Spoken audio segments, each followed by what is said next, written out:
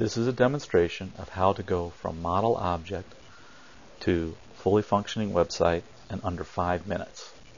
Using the templating technology, we have a object called web advert under the domain organization. It has an attribute name, has an attribute description, has an attribute HTML description, has a property effective date, a property expiry date. These are date time. These are these are all strings. This is a simple object. We're going to generate the web pages, the controller, and a model view controller, and the NUnit tests, and the core object, all by simply saving this templated form.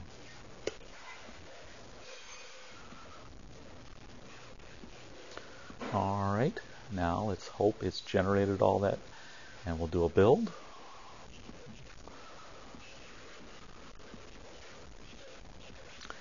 While that build is going on, we'll go and reload our test project. And now that's reloaded, we'll run those tests.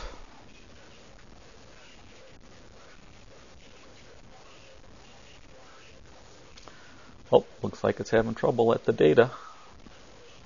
Let's see why.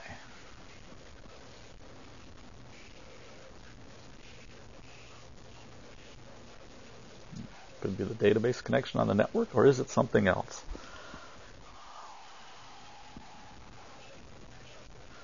Uh, errors, errors, errors. And the reason is there's a SQL that we should have for the table, but since we just created the object, we don't have the object automatically created in our database. So we need to create that object in the database. And here it is right here. And we'll create it, the table, and we'll rerun our tests. And voila, 138 test cases were just run. Now, let's debug our project. Start the website.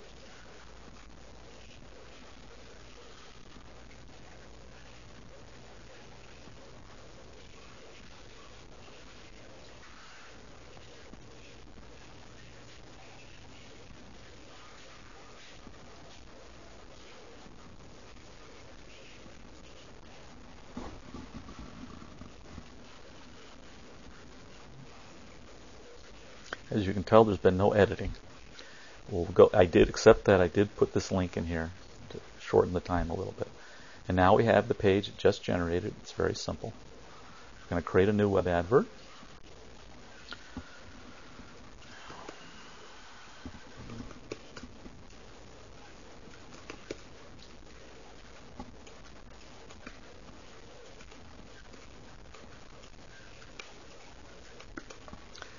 We'll save it.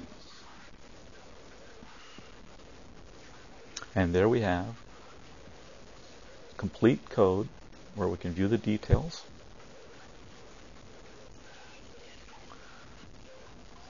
And we can